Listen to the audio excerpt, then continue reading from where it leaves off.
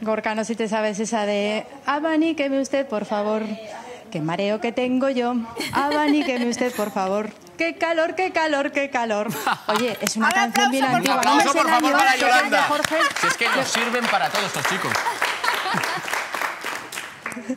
Sí, eso es muy antigua, ¿eh? Con el baile de los Locomía no me atrevería, pero con la de Jorge Negrazo, que por cierto, ¿Qué? salía en un disco que se titulaba Puente de Piedra, con esa sí que me atrevo. Bueno, pues uno, este es uno de los muchos abanicos que, por ejemplo, aquí me vendrían bastante bien, porque mira, voy de negro y con el collar de colores, y este parece bastante apropiado, pero bueno, aquí la experta realmente es Patricia. Patricia, buenas tardes. Buenas tardes, ¿qué tal? Es- Este es el arte más artesanal de quitarse, de sacudirse uno el calor, nunca mejor dicho, y tiene éxito de vendas. La, la gente se lo sigue comprando para lo que sirven, aparte de para estar más elegante. Sí, por supuesto, todos los años con esta ola de calor es algo que no puede faltar, es imprescindible.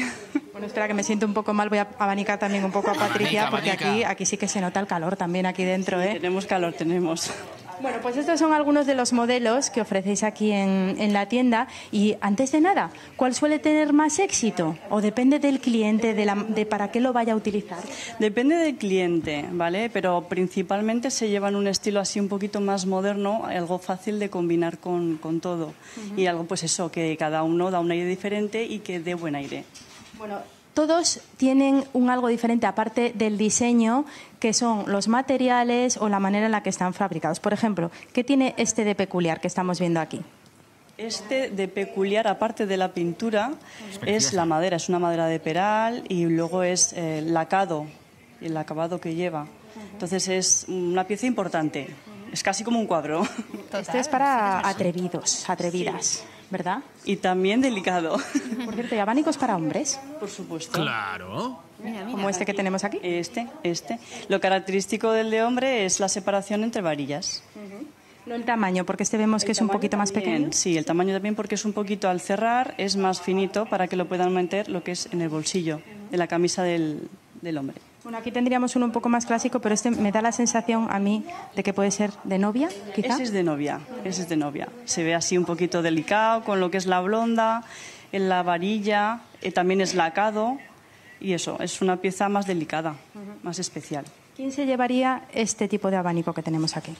Pues una persona de, que quiere algo de- del día a día, del día a día y eso, este sí que da buen, buen aire. Que sea muy práctica. Bueno, y este me ha llamado mucho la atención, porque yo no sé si entre el abanico de tela y el abanico de madera, a ver que lo estoy abriendo al revés, A ver, a ver. puede haber alguna diferencia a la hora de, de aquí de articular. mover más Sí, aire, mira, este lo que tiene de especial, que es tampoco es un abanico de mucho uso porque va sujeto solo por una cinta, entonces tampoco da mucho aire. Es más de Disposición. de exposición. Sí. No se usaría, o en, bueno, en algún caso usar, también. Se puede usar, sí. eh, como complemento para alguien que sea muy coqueta y que necesite algo marrón que llevar y el bolso no Tiene sea- pinta de pesar. no tenga lugar, por ejemplo. Eso es, sí, pero es, es más delicado, ¿eh? No es de mucho Es uso. delicado. Pues mira, Gorka, te voy a decir que entre este que Sí. tengo aquí y este que tenía, que tenía yo en la mano, Que era ligerito. pues sí, efectivamente pesa un poquito más, pesa un poquito más el de madera, a pesar de que este es un poco más grande. Ese es más ligero, exacto. Es porque la madera es cortada finita y luego la seda es que no pesa nada. Bueno, tenemos que decir que la palabra abanico, una curiosidad, viene de, de vanus, que era el útil que utilizaban los romanos para aventar las cascarillas de- del cereal. O sea que, bueno, va- vamos aprendiendo. Bueno, vemos que tenemos más modelos por aquí abajo, dependiendo de lo que quiera utilizar cada uno. Por ejemplo, este que, que tenemos aquí azul, a mí me ha llamado mucho la atención porque incluso, eh, eh, quién sabe, se puede emplear con unos vaqueros.